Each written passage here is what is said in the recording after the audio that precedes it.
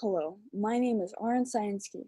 I'm 14 years old and a member of the Phoenix 4-H Club in Union County, North Carolina. Today I will be talking to you about an intriguing and endangered anim animal, the pangolin. Pangolins look like the offspring of an anteater and a pine cone. So what is a pangolin? Pangolins are the only mammal covered in, in scales. They feed on ants and termites, and are of no threat to humans. They are also the most trafficked mammal in the world and are being threatened to extinction. The word pangolin comes from the Malay word pangglung, which means one that rolls up. Although they are sometimes called scaly anteaters and may seem similar to armadillos, pangolins are not closely related to either anteaters or armadillos. Most pangolins are solitary, nocturnal animals that spend most of the day curled up into a ball asleep. Some pangolins are arboreal and live in hollow trees. These pang pangolins have prehensile tails to hang from tree branches. Ground-dwelling pangolins dig deep tunnels underground for sleeping and nesting. When threatened, a pangolin will cover its head with its front legs, exposing its scales. If touched or grabbed, it will roll up in completely into a ball which makes it easier for poachers to take them. Pangolins emit, emit a, a noxious smelling chemical, which they use to mark their territories. Pangolins eat a steady diet of ants, termites, and other insects and larvae. Some pangolins will feed on just one or two species of insects. When fully extended, the pangolin's tongue can be up to 16 inches long. Tongue muscles are attached near the pelvis and ribs. A pangolin's tongue is stored in its chest cavity when not in use. Their saliva is sticky, which helps them grab insects.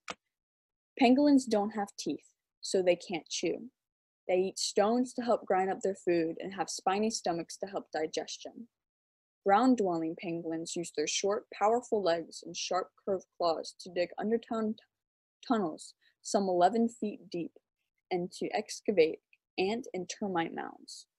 Arboreal pangolins are adept climbers and use their claws to, pro- to pull bark off trees and, and logs to find insects. An adult pangolin can eat up to 20,000 ants a day, about 73 million ants a year. Pangolins can close their ears and nostrils using strong muscles. This protects them from ant attacks. Pangolins are the only mammals that are covered in scales.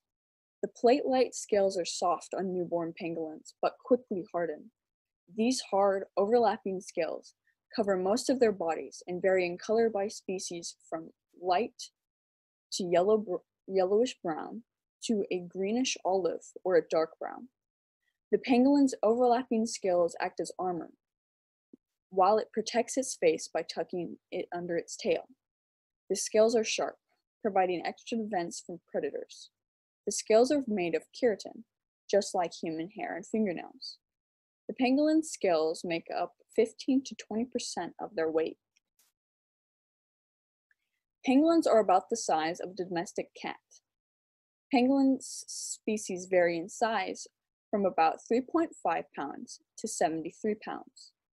Pangolins have poor vision and rely heavily on their keen senses of smell and hearing. Pangolins can run quickly and are capable sw swimmers. Some rise and sit on their hind limbs to sniff the air. Each paw has five toes, and the forefoot have, has three, long curved claws.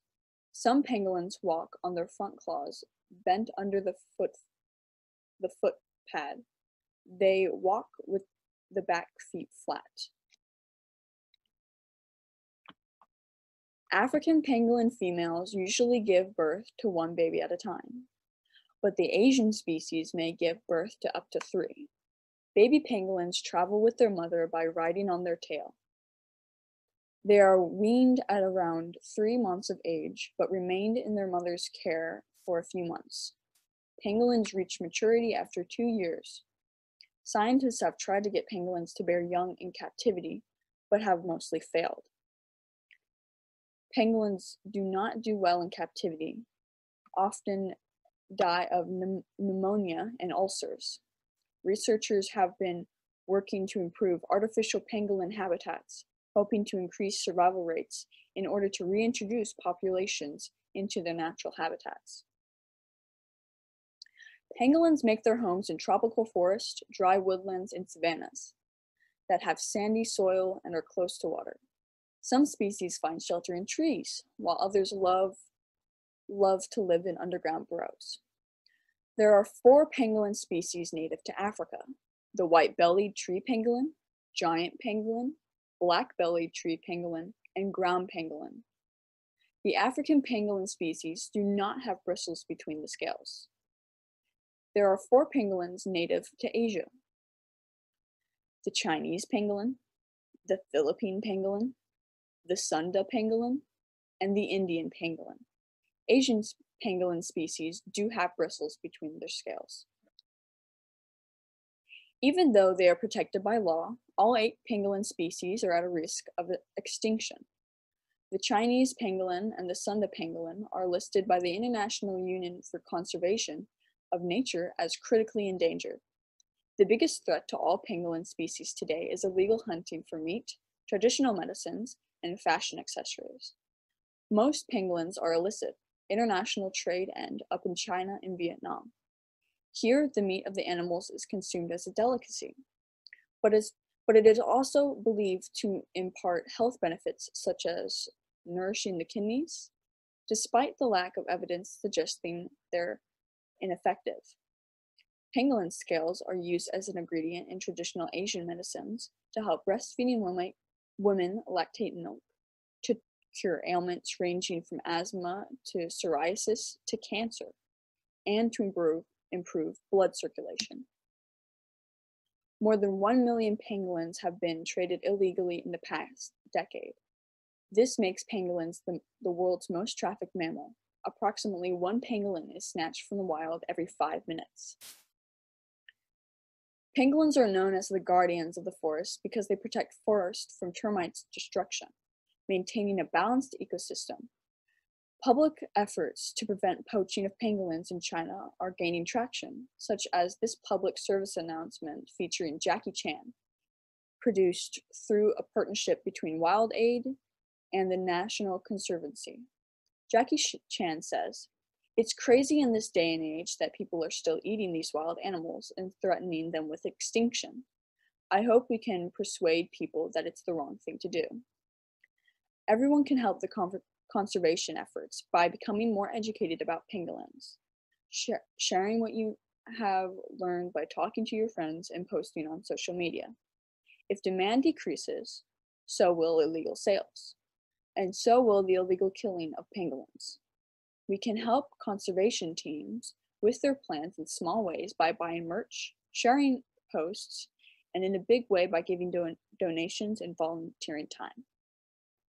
We can also help, help conservation teams with their plans by participating in various events. This is an easy way to help pangolins be saved.